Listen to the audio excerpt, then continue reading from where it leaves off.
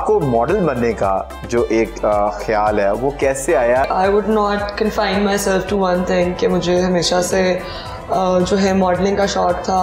मतलब कि you are more interested in performing arts कि आप चाह रहे थे कि आप एक्टिंग परफॉर्मिंग आर्ट्स की तरफ़ जो है वो आए तो modelling is just your gateway एक लॉन्चिंग पैड है और इससे आप, आप आगे एक्टर बनना चाहते हो और सारी चीज़ें करना चाहते हो। Mostly that and other than that entrepreneurship की तरफ़ भी काफ़ी ज़्यादा वो एक जो है रुझान है तो पहले तो माशाल्लाह आप यू बिकम अ डॉक्टर और वो कहते हैं ना कि हर वालदेन का एक ख्वाब होता है कि उसके बच्चे जो डॉक्टर इंजीनियर या कोई ब्यूरोक्रेट बन जाए सी एस में चले जाएँ। फिर आपने माशाल्लाह उससे बड़ा काम किया जो उससे मुश्किल काम था। Then you became a sexologist so ये कैसे ट्रांसफॉर्मेशन हुई?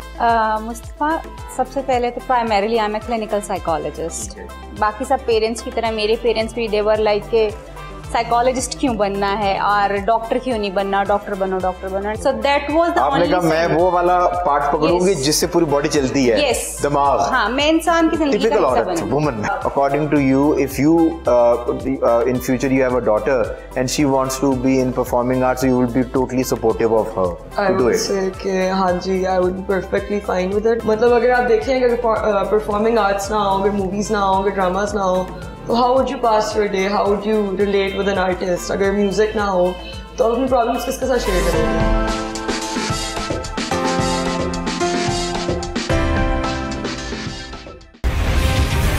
देखिए program chit chat with Mustafa Shah इतवार की रात 10 बजे, सिर्फ़ कोहेनूर टीवी पर।